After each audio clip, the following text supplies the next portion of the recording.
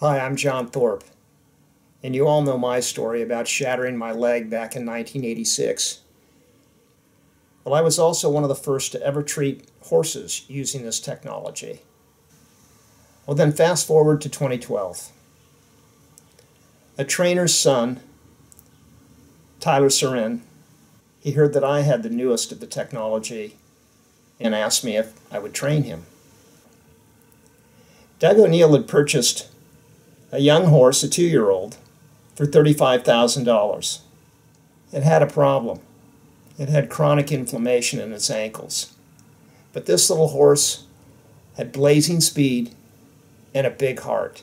He'd run well one day, be sore the next. Tyler came to me and he said, John, we've got this two year old that's never won a race. Stephanie and I had the chance to work with I'll Have Another for the last two months using John Thorp certified machines and his protocols. And he showed how much he enjoyed the machine as he came out and he won his first race at 43 to 1. I'll have another opening up to lead by three, and as I'll have another coming home to win it easy. Four weeks from now, the Kentucky Derby will be run at Churchill Downs. But today, we're just minutes from the start of the Santa Anita Derby a race filled with compelling storyline. And I'll have another is out to prove that his 43 to 1 upset victory in his last start was no fluke. Another coming on Damie down the center. I'll have another creative score. On the inside, blue skies and rainbows, a three-way thriller. I'll have another creative cause. I'll have another's in front. Creative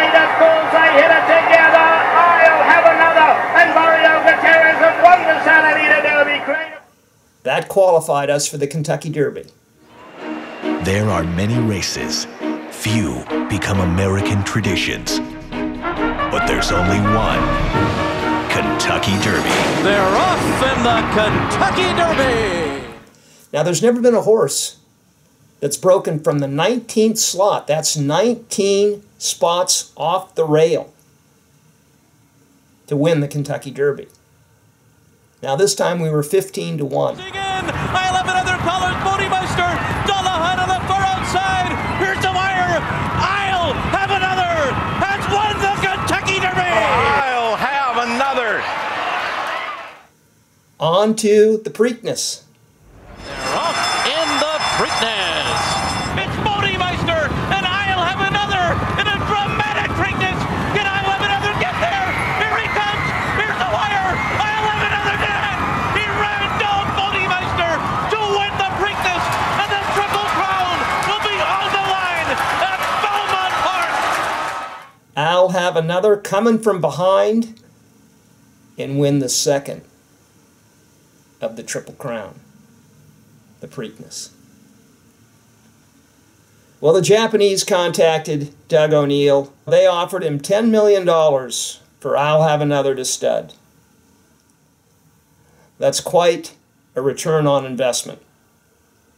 2012. Took a horse that had never won a race. We won the Kentucky Derby and the Preakness. Now we fast forward after the 2012 victory to let's bring it up to 2017. Jeffrey Mullins came to me in September of 2017 and he said, Could you train me with the Electro Equiscope? A horse chiropractor friend of ours, Rio King, said that you're doing miracles with racehorses. He had two horses in particular. One was just a two year old, the other one was an old veteran, a six year old, that had run on the turf in Europe but was unknown here. But Jeffrey started treating the two year old by the name of River Boyne, little Irish bred horse that they found in France, and the six year old. Itsinthepost. On December 28th, the little two year old River Boyne won the opener at Santa Anita Racetrack. Jeffrey said, You better be here. January 6th, we're running Itsinthepost. It's the San Gabriel Stakes for 200000 Itsinthepost, 1, the San Gabriel. I was there along with Rio King and Larry Thumper Jones in the winner circle. The Equiscope team all there as Itsinthepost, won the San Gabriel. Then on February 3rd, Itsinthepost, did it again, and wins the San Marcos.